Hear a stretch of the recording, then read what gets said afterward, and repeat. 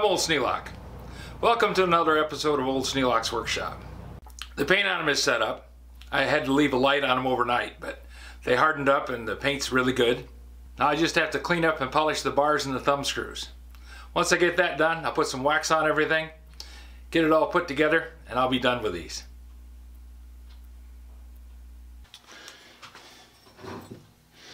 Paint's dry. I gotta pull the pins.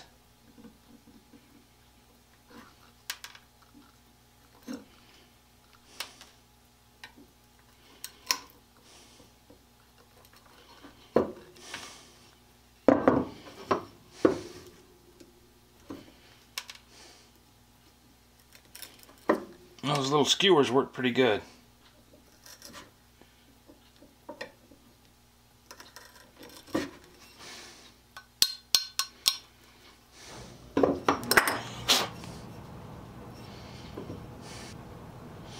Still got some nickel plating on some of these screws.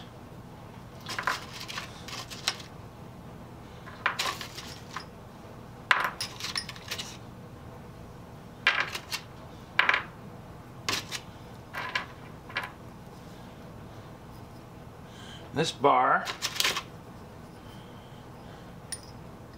actually both of them are about the same. I think I'll just buff these up, see what happens.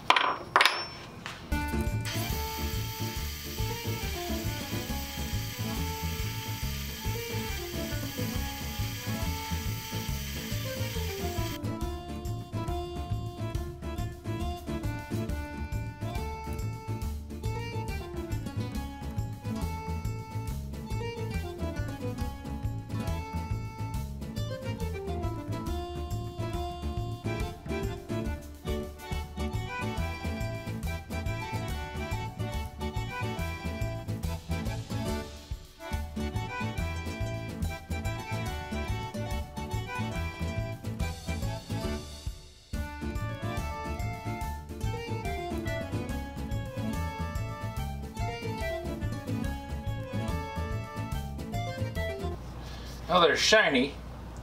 I wouldn't say that they're polished, other than the high spots are shinier than what they were.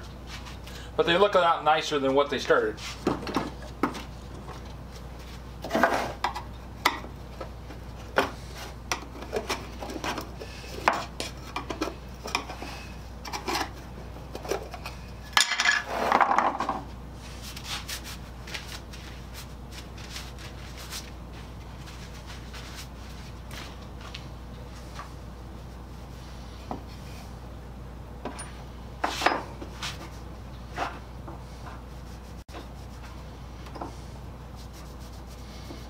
Got the parts all cleaned up and the bodies painted.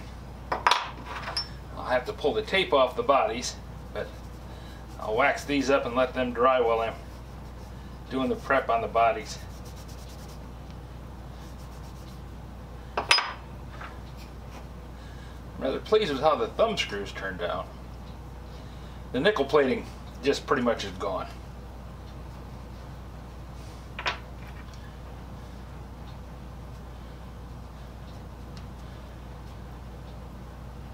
They're going to look a lot better with some wax on them and the rust gone.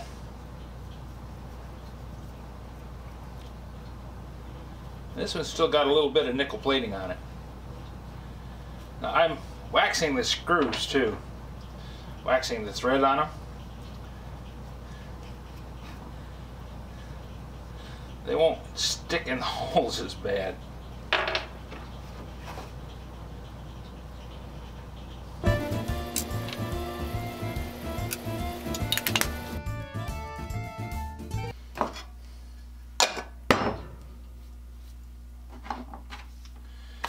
Now we just have to wait for the wax to dry, then we polish that up a bit, and we'll be good to go.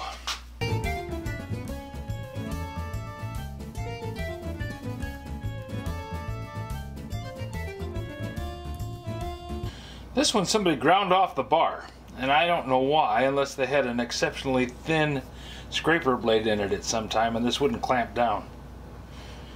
Doesn't seem to affect how the scraper works wax in the corners there. Now, you'd think this bench would be about hip deep in wax.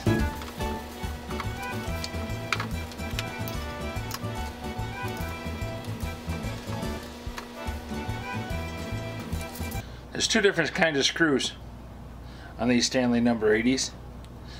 There's this one that holds the bar on, and there's this one that actually tightens and bends the blade. This one's got a built-in washer on it, and this one doesn't.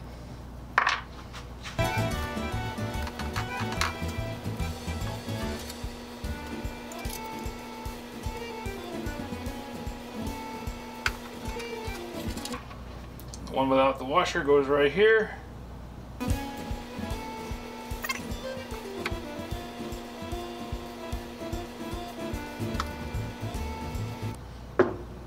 This one goes together exactly the same way.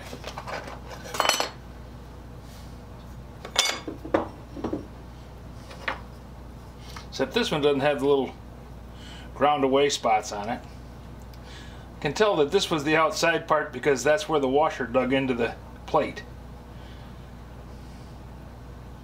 I'm going to flip it over so this side, which is a little more presentable, is on the outside.